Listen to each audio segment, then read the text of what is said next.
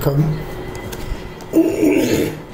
Kalyani vlogs and cooking ரொம்ப நாள் ஆச்சு இன்றைக்கி வந்து இந்த சைனா கிராஸ்னு சொல்லுவோம். அதாவது ஹிந்தியில் அகர் அகர்னு சொல்கிறது தமிழில் வந்து அதை கடல் பாசின்னு சொல்லுவாங்க. இது ஆக்சுவலாக பாசியிலிருந்து தயார் பண்ணுறது தான். இது வந்து நீள நீள குச்சி குச்சியாக இருக்கும். இது வந்து புரோட்டீன் அதிகம் உள்ளது. இதை வந்து வெயிட்டே இருக்காது. இதை வாங்கிட்டு வந்து இது வந்து பார்த்திங்கன்னா நம்ம இந்த சாதம் வடித்த கஞ்சி மாதிரி காஞ்சி போச்சுன்னா அப்படி தான் இருக்கும். அது மாதிரி இருக்கும். இதை என்ன பண்ணுறோம் இது ப்ராசஸ் பண்ணி வச்சுருக்காங்க. இது ஹண்ட்ரட் பர்சன்ட் பியூர் வெஜிடேரியன் இதை நீள நீளமாக குச்சி குச்சியாக இருக்கும். அதை இது மாதிரி வெட்டிக்கணும். நான் வந்து என்ன பண்ணியிருக்கேன் அரை லிட்டர் பாலில் வந்து இன்றைக்கி நம்ம அந்த அகர் அகர் அதாவது சைனா கிராஸ் வச்சு இது செய்ய போகிறேன் புட்டிங் மாதிரி வரும் இது இது வந்து என்ன பண்ணுவாங்க சின்ன பிள்ளைங்களுக்கு பெரியவங்க எல்லாருக்குமே ஸ்வீட் மாதிரியும் கொடுக்கலாம். இல்லை நீங்கள் வந்து பலூடா மில்க் ஷேக்கு இதெல்லாம் பண்ணுறீங்கல்ல அதில் வந்து மூணு நாலு பீஸ் போட்டு விடலாம். ஜெல்லி மாதிரி. ரொம்ப நல்லா இருக்கும். நல்லதும் கூட உடம்புக்கு. இதில் என்ன பண்ணுறோம்னு கேட்டால் முதல்ல இதை எடுத்துக்கிறோம் இதை வந்து சின்னதாக கட் பண்ணிக்கிறோம். கட் பண்ணிக்கிட்டு இதை வந்து என்ன பண்ணுறோம் கொஞ்சம் தண்ணியில் அலசிடுறோம். பாருங்க அலசிட்டு அலசின உடனே என்ன ஆகும்னு கேட்டால் எல்லாம் ஊறிக்கும். அதை அப்படியே எடுத்துருங்க. இதுமாரி வடிச்சிட்டு. இந்த அஞ்சு கிராமுக்கு ஒரு ஐம்பது எம்எல் தண்ணி வச்சுருக்கேன். அதில் அதை போடுங்க. ரொம்ப சிம்பிள் தான். கொஞ்சம் பொறுமையாக செய்யணும். எல்லாத்தையும் வடிச்சிட்டேன். இதை வந்து இப்போ நாற்பது ஐம்பது எம்எல் தண்ணியில் போட்டுருங்க. போட்டு இதை வந்து என்ன பண்ணணும்? கனமான பாத்திரம். லோ ஃப்ளேமில் இதை மெல்ட் பண்ணுங்க. அதாவது சூடு சூடான உடனே இது வந்து தண்ணி மாதிரி கரைஞ்சிடும் நல்லா எல்லாம் கரைஞ்ச உடனே அடுப்பை ஆஃப் பண்ணிடுங்க இந்த மாதிரி ஒரு அரை லிட்டர் பால் தனியாக ஒரு பாத்திரத்தில். இதையும் நல்லா பொங்க காய்ச்சிக்கிங்க. இதை காய்ச்சிட்டு இது நல்லா பொங்கி வந்த உடனே இது வந்து கரைஞ்சி ரெடியாக இருக்கும்.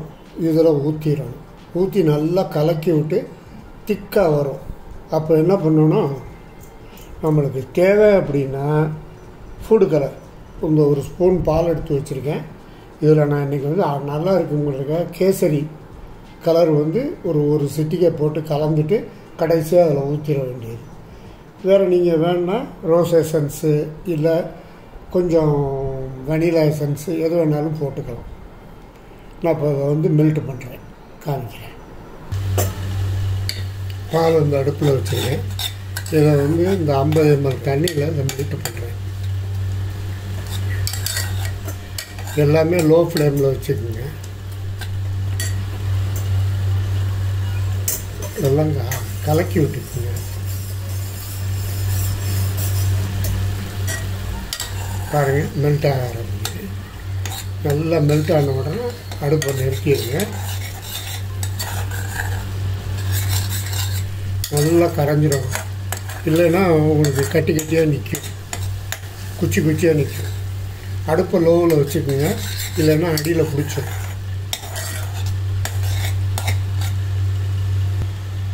பாருங்க ஜெல்லி மாதிரி இப்போ வந்துடும் குச்சி குச்சியாக இருக்கிறது ஸ்டிஃபாக இருந்தது வந்து இப்போ மெல்ட் ஆகி இந்த மாதிரி கெட்டியாக வந்துடும் இந்த ஸ்டேஜில் ஃபுல்லாக அடுப்பை குறைச்சிட்டு என்ன பண்ணுங்கள் அந்த பால் வந்து காஞ்சிக்கிட்டு இருக்கு. அதை இப்போ சேர்க்கணும். பால் இங்கே தனியாக பொதிச்சுக்கிட்டு இருக்குது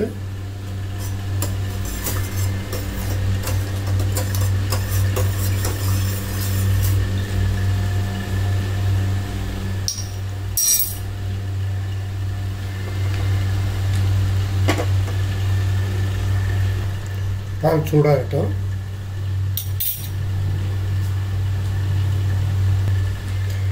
நல்லா கொதிச்சிருச்சு. இப்போ அந்த கலர் சேர்த்துக்கிறேன்.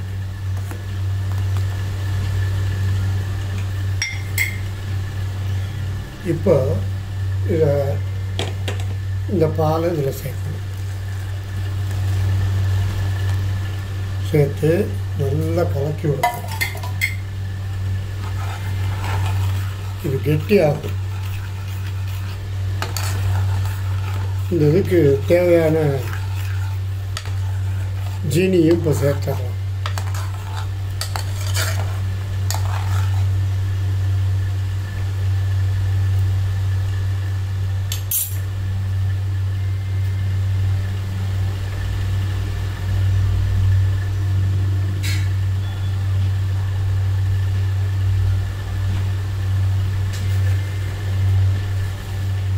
ஜீனி பாருங்க. போதும். ரெண்டு ஸ்பூன் போட்டிருக்கேன். போதும். பெரிய ஸ்பூன் அதாவது இப்போ சின்ன ஸ்பூனுக்கு மூணு நாலு ஸ்பூன் வரும். அந்த ஜீனி கரையட்டும். இதை என்ன பண்ணுங்க?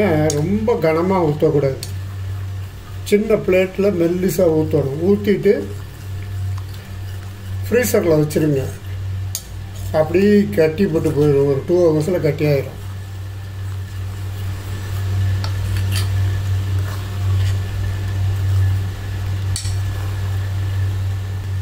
இப்போ அடுப்பை ஆஃப் பண்ணிட்டேன். கொஞ்சம் கூலாகட்டும் அப்படியே விட்டுருங்க.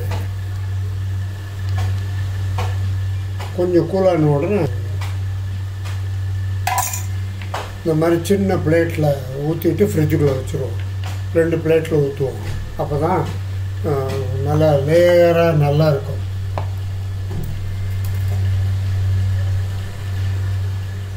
ஆற விடு.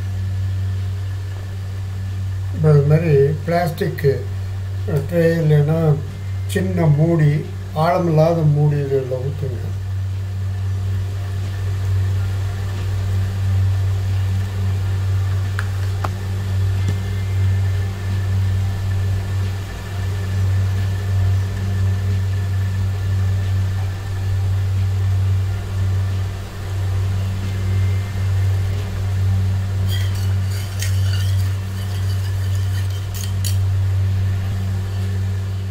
இப்போ செட் ஆரம்பிச்சிருச்சு பாருங்கள் இதை கொண்டு போய் நான் இப்போ ஃப்ரீசரில் வச்சுட்டு ஒரு டூ ஹவர்ஸ் கழிச்சு எடுக்கிறேன்.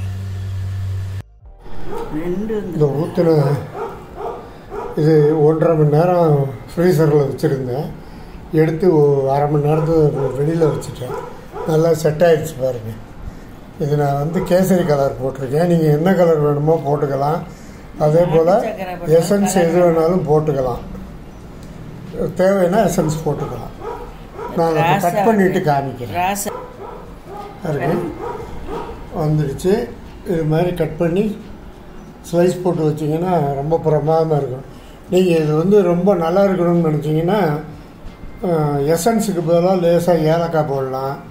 முந்திரி நல்லா நைஸாக சின்ன சின்னதாக ஒடிச்சிட்டு தூவி விடலாம்.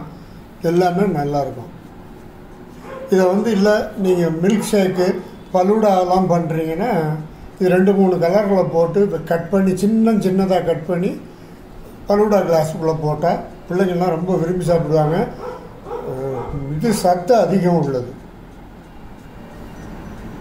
செஞ்சு பாருங்கள் உங்கள் லைக் அண்ட் கமெண்ட்ஸை ஷேர் பண்ணுங்கள் தேங்க்ஸ் ஃபார் வாட்சிங்